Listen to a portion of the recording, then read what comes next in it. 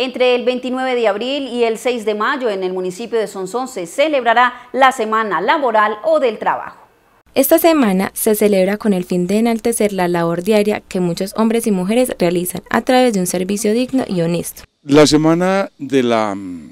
del Trabajo, o la Semana Laboral como también la podemos llamar, se trata de una serie de reflexiones y de actividades en torno a, la alegría de trabajar, a lo positivo de, de, de elaborar no únicamente la carga, el sudor que representa, que no lo podemos negar, pero también cómo se unen las comunidades, cómo se engrandece el mundo, cómo las personas mm, desarrollamos capacidades que no ni sabíamos que teníamos. Eh, las familias también tendrán que ver ahí, los campesinos, la vocación del territorio. Son una serie de temas conexos y lo hacemos, desarrollamos la actividad en torno al primero de mayo, que es el Día Internacional del Trabajo. Como apertura de esta semana estuvo la celebración de una Eucaristía en el Santuario de la Balvanera, bajo el lema El trabajo digno y honesto, camino a la salvación. Lunes 30, eh,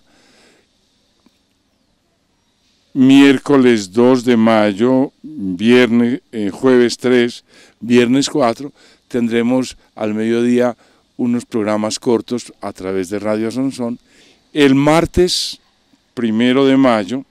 tendremos a las, 12, a las 11 de la mañana la Eucaristía acá en el santuario de Nuestra Señora de Valvanera y luego tendremos una marcha musical desde este santuario hasta el monumento al obrero en la plazuela de Nao y allí vamos a llevar una corona y vamos a coronar al obrero, eh, o mejor dicho, eh, viendo en ese obrero a todos los trabajadores sonsoneños como un homenaje, un reconocimiento un agradecimiento. El sábado, el sábado 5, el programa radial por Radio Sonsón a las 7 de la mañana.